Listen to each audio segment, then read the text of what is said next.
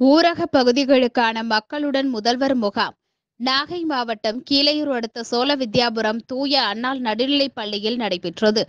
கீழ்வேலூர் சட்டமன்ற உறுப்பினர் நாகை மாலி முகாமினை துவங்கி வைத்து அரசு அதிகாரிகள்தான்.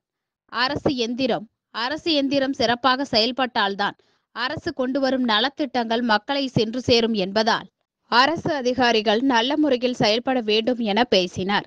தொடர்ந்து முகாமில் வருவாய் மற்றும் பேரிடர் மேலாண்மை துறை ஊரக வளர்ச்சித்துறை காவல்துறை சமூக நலன் மற்றும் மகளிர் உரிமைத்துறை உள்ளிட்ட துறைகளின் கீழ் மனுக்கள் பெறப்பட்டது.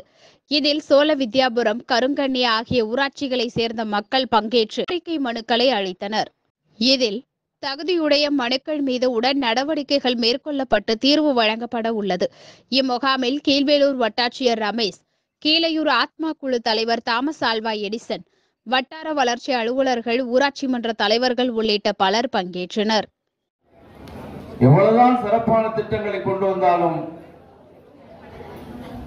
அதை மக்களிடம் கொண்டு செல்லக்கூடியவர்கள் இங்க இருக்கிற நம்முடைய வட்டாட்சியர் இங்க இருக்கிற நம்முடைய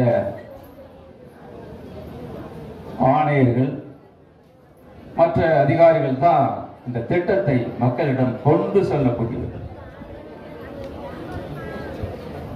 இதுதான் அரசு எந்திரம் இவர்கள் தான் அரசு எந்திரம் அந்த அரசு எந்திரம் செயல்பட்டால்தான் அரசு சொல்லுகிற அரசு கொண்டு வருகிற நோக்கம் நிறைவேறும்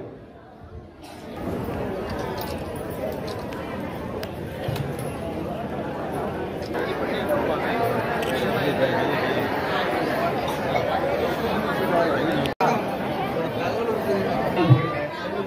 தயவு செய்து யாரும் எடுத்தீங்கன்னா